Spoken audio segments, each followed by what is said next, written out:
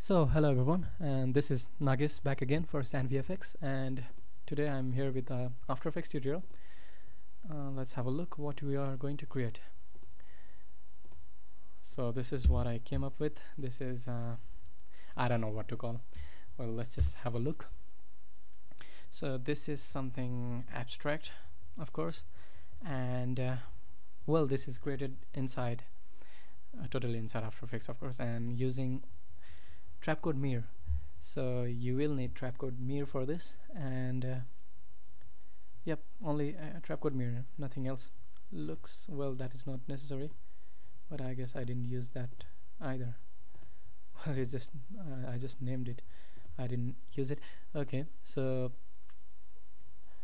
what uh, what else? Yeah we you need something like a like this texture uh, it's a, just a Google image so Google it and let's just get started. New project new comp of course and make it a 1280 by 720 comp. Create a new solid. Name it BG create a new solid again. Name it mirror and apply mirror on that. And let's apply ramp on that on the BG uh, background layer so let's just sort of for th this one for a while. Swap colors of course and let's bring this a bit down. And radial ramp and then scatter something like that. And like a vignette you know. Let's just make it like this. You will not be using this one later on but just for now. Okay and create a new light let's make it point light and something like 30 and let's just duplicate that and bring it somewhere here. Let's bring this one a bit there. Actually let's reset this mirror. And so that we have this box so we can work our way from the very basic and blend mode to normal or off and depth buffer on of course so now since you have watched the video uh, what's there in that video is like it starts from let's just bring the thing. Mm, let me show you. I guess that is it. Yep so what it's how it is like is it starts from nothing and you can see a sphere some uh, like a sphere and then it increases and then well then it comes back to the same position just rotating. So what we will do now is keyframe the size size x and y and amplitude frequency and evolution. Uh, because we have like it's very less in the beginning and then it the amplitude increases and then will st stays for a while and then goes back. So let's just try that so we have this thing. Let's bring up the keyframes we just added and let's send it all to zero. And go to somewhere like three seconds. Let's make it exact three seconds. Not, not necessary but still and let's increase the size to 500 by 500 amplitude maybe 500 and frequency yeah let's oh, let's do 500 for everything. Okay I guess I'll decrease this and maybe even evolution like just 100 or something. And let's copy these keyframes again which are all zero control C and go to the like this is 3 seconds so again 3 seconds from there and control V paste uh, so everything is in zero. So let's have a look first uh, where we are. So what it's doing is like it's bringing up uh, it's the solid is there and then it's uh, well it's having an animation and then it's going back to again to nothing. So that's the basic of it. Uh, one thing I notice is we have to add this rotation first first thing to notice and then let's make it 360 I guess this is in degrees though it doesn't have that angle control. Should be in degrees 360 degrees so we have this rotating thing now. It looks good. Sorry. Uh, now another thing is uh, like it starts as a um, box or I mean it starts at it starts as a square.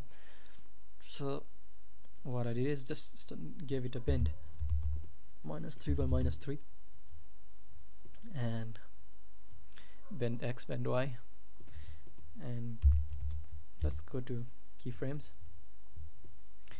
Bring it up there. And if you see now like see uh, if it's in bend like minus 3 it is just collapsed uh, you know I mean it had like in particular we have velocity to spread it out. And uh, similarly I'd say that in mirror like when we have bend and then even if we increase amplitude uh, because of the bend it just goes on you know I mean it doesn't spread out. So we need to release it a bit. So not whole much. Let's go it to like minus 1 by minus 1 yeah maybe looks good. And copy this keyframe and just mirror it into the other half.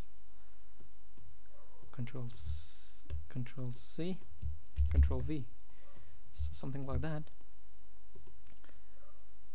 And let's have a look again.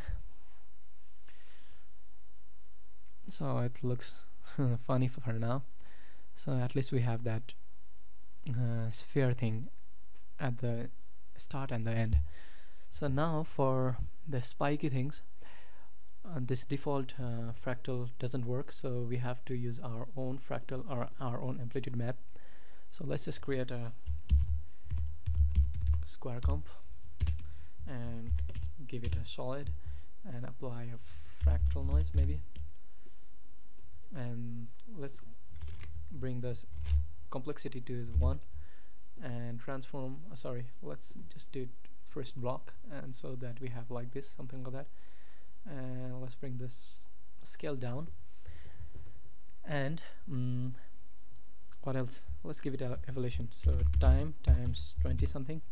By the way you should click alt click to bring this one. So we have something like yeah something like that.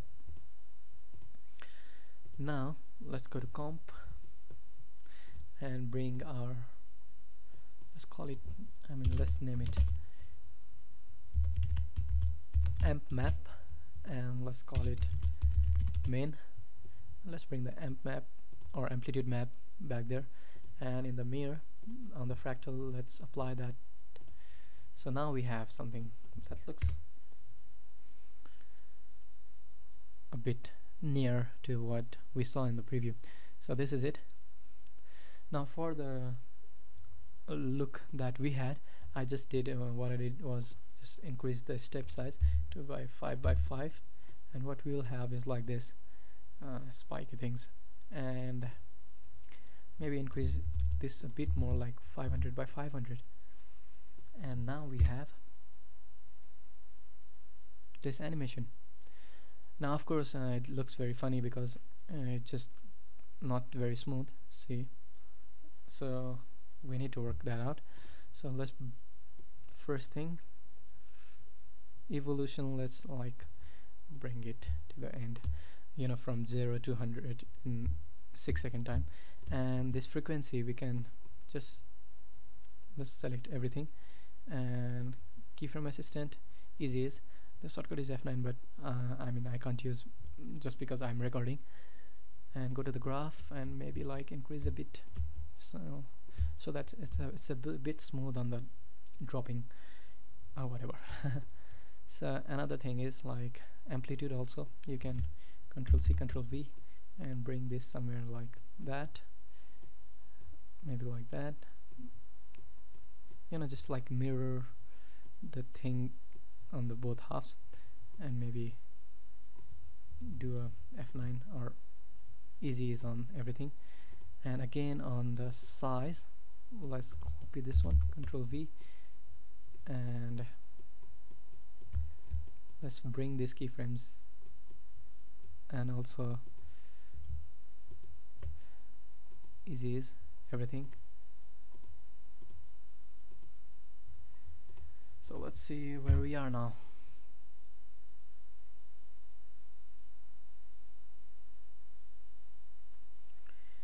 So I think it looks good right? For me it looks yeah it's good. You can play on forever so this is the basic thing. So you got the technique and now let's work on getting the looks. On the project we let's bring our texture and let's bring it to the background. Just don't I mean let's use that one as a background. And uh, one thing again is like add the shadow Trapcode Mir just duplicate this thing and make it a 3d layer. Well it should give a warning but um, I was just doing it just before so it didn't give a warning but you'll get a warning because it's a 3d plugin or I don't know what to call it. Well it's already inbuilt 3d in uh, the plugin itself is in 3d space and when you create the layer 3d it just uh, projects the whole 3d thing into one layer. So well I don't know how to explain that. I should okay let's just move on. I'll show you in a bit. Let me show you actually since I've talked about that. So let's go to active camera custom view. So see what I mean? See I mean it's a flat thing. So what it is doing is like projecting whatever it is there and projecting uh, projecting it into a just a flat layer. So we can use it for our shadow. So let's name it shadow. And position let's just reset the position. Go to active view. And one thing more is yeah I did accept lights off so that well we are using it for a shadow so we want control a bit of control. And give it a rotation 90 degrees. Position. V to bring that down. And also actually you can bring the mirror layer the whole thing down a bit. And then give it a fill. Give the fill in the shadow give it make it black. And also you can do is fast blur. You can decrease this and make it uh, blend mode to multiply so that yeah it does so that it blends. And let's have one last thing is to color this thing. And it's very easy just duplicate this thing make name it color map maybe or texture and then duplicate uh, sorry double click that thing and just apply that texture to our color map. And bring this color map now. Color map let's bring this down and use it in our texture material texture to the color map. It's a bit dark so we can do is either increase this or even maybe like bring up new light. Maybe ambient light decrease it like 10 so that's good. So that's it. See? Well one thing for well I'll just let's see first let's first see the preview and then I'll talk. What I'm noticing is that the background is not I mean it looks very flat so. So let's see. For me it looks good. So if you don't like the first uh, you know this this part and the ending part a bit just you can keyframe the uh, transparency opacity. Uh, one thing I was noticing was that this texture. It needs a bit of like uh, what I used was Bezier warp so that what we can do is give it a bit of 3ds 3d look. You know something like this. So that maybe it looks like it's a curved wall or something. Uh, so let's have a look. Yeah looks good right